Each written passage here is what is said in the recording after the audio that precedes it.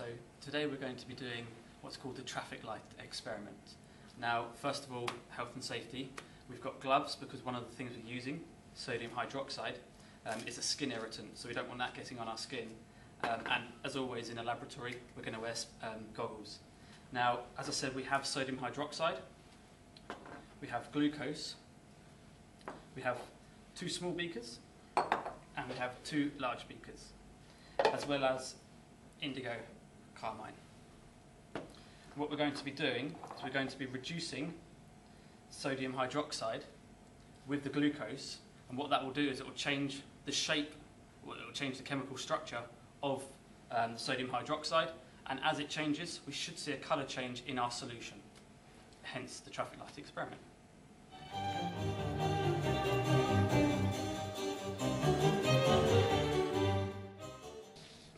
So the first step in any experiment is weighing out um, all your ingredients, much like when you make a cake, for instance.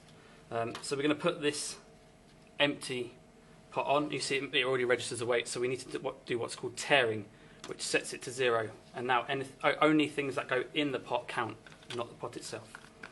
We're going to measure the glucose first. We need 12 grams of glucose.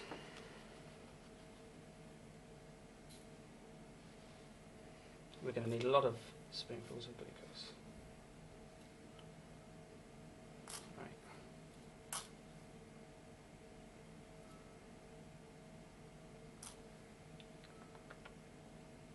Oh, okay, so just take small amounts out until we've reached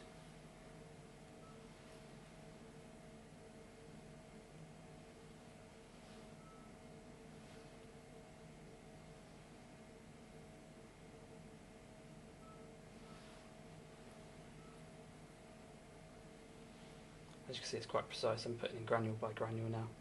And there you go. Uh, you can't decide, but there we have, we have it. 12 grams of glucose. Just get rid of the excess in there.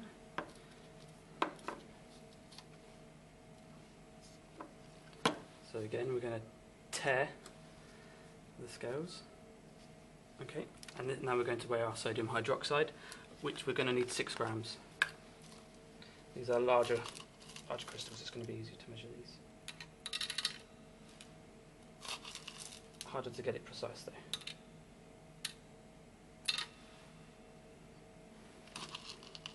One more spoonful should do.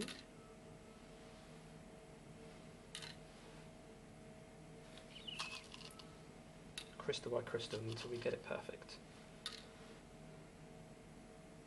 Okay, I don't think we're going to get it any closer than that because if we put another crystal in, it'll just go over.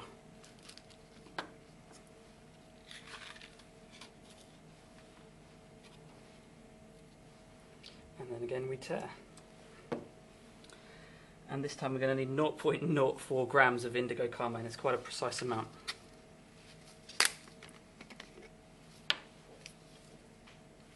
So I'm going to use the smaller spatula for this.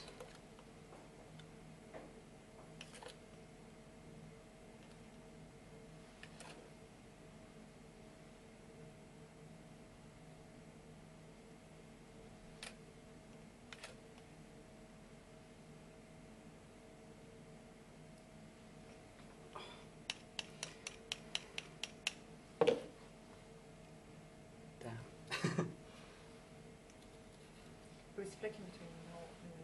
Oh, perfect. Yeah, good job. Okay, so we have 0.4, and that's our ingredients measured. Okay, so we've measured out our glucose, we have 12 grams. What we need to do now is dissolve it in the water. So we'll just pop it into the water. Make sure I'm going to get everything out.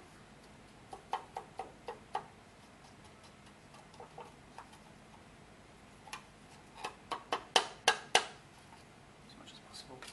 And then we just stir. Now this is going to take a while, so if you'd like to join me when I've finished, that'd be fantastic. So the glucose is now nicely dissolved within our 750 millilitres of uh, water. So we're now going to add the indicator, which is uh, indigo carmine. We haven't got very much of this, so be gentle. This is what's going to provide the colour for us to see the colour change when we get further along in the experiment. So I'm just going to give this a quick stir. You'll see that it's got a nice dark indigo colour. Excellent. Right. Fantastic. Okay, so with 250 millilitres of water, we're going to put our crushed up sodium hydroxide. Now, when we measured it out, it was in quite large crystals.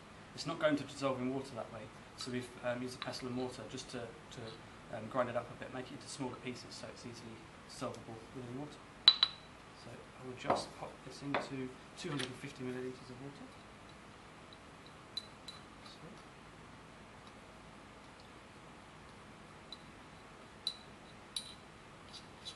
Once this is done, we just need to give this a stir.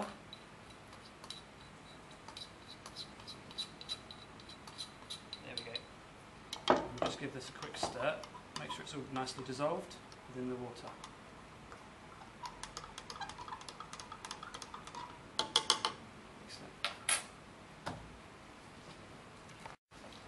Okay, now we've got our 250 millilitres of um, water with sodium hydroxide dissolved in.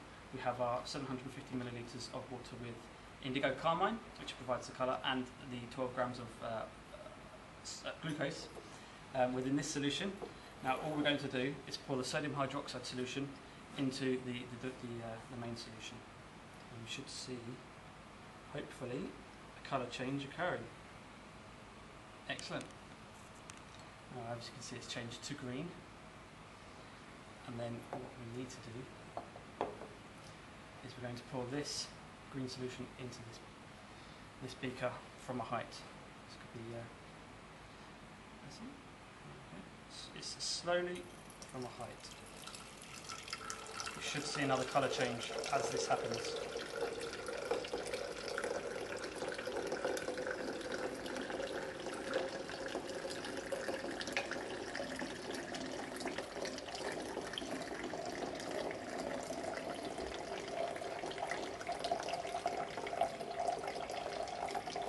Hopefully.